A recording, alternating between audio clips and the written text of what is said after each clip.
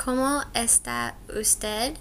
It just means how are you? And you can respond Yo estoy bien, which means I'm good. Más o menos, which means like just okay.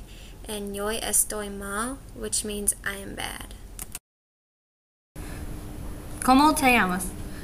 This means what is your name? You would respond with mi amo, which means my name is.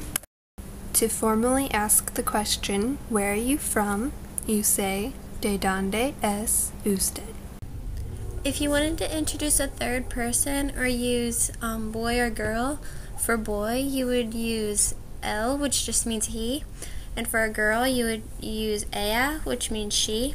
So if you wanted to know what is his name, you would say, ¿Cómo te llamas él? Two ways to say hello is hola or buenos tardes, which means good afternoon. To say goodbye in Spanish, you simply say adios. Adios. Another way to say goodbye is by saying see you later. To say see you later in Spanish, you say hasta luego. Hasta luego.